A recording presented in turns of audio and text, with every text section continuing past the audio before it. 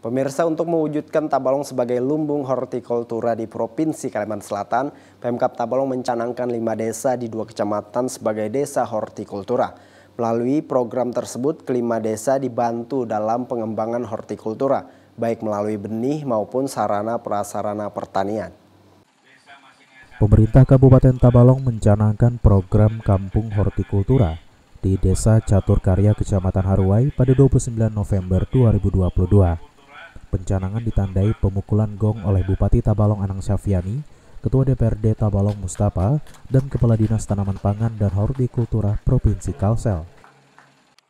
Desa Hortikultura ini meliputi lima desa dari dua kecamatan di Kabupaten Tabalong, yakni Desa Caturkarya, Desa Kembang Kuning, Desa Lok Batu, Desa Masingai 1, dan Masingai 2. Pada kegiatan ini juga dilakukan gerakan menanam bawang merah dan cabai yang dilakukan jajaran Forkopimda Kabupaten Tabalong, Kepala Dinas TPH Kalsel, serta jajaran pejabat lainnya.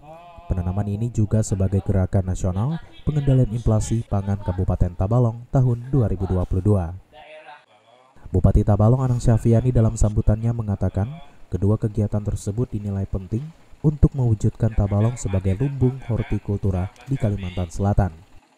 Dua-duanya penting dalam rangka mewujudkan Tabalong sebagai lumbungnya hortikultura di Kalimantan Selatan dan itu berbang IKN.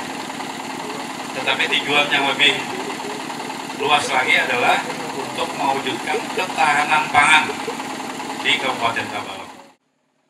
Pada kegiatan ini pemerintah Kabupaten Tabalong dan pemerintah Provinsi Kalimantan Selatan menyerahkan beberapa bantuan kepada petani seperti bantuan kultivator, traktor rotari, pompa air, benih hortikultura, mulsa, bantuan pengembangan hortikultura berupa sarana produksi, bantuan pengembangan bawang merah seluas 5 hektar, dan bantuan lainnya.